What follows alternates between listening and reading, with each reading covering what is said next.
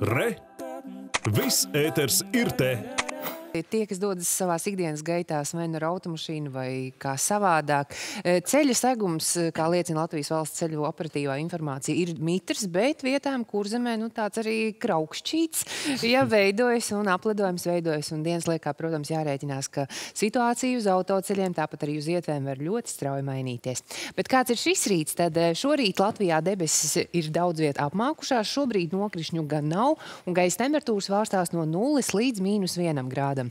Valdošais lēns līdz mērens austrumu dienvidu austrumu vējš.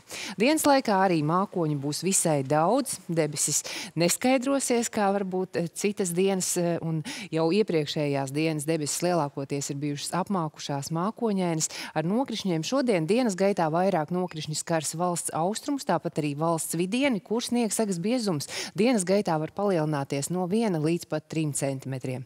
Un dienā gaisa temperatūra no 0 līdz mīnus 1 gaisa temperatūra un eh, valsts austrumos vietām līdz mīnus diviem grādiem. Bet tā kā valdošais būs mērens, līdz brīžiem arī lēns vējš, tad dienas gaitā veidosies mīgs.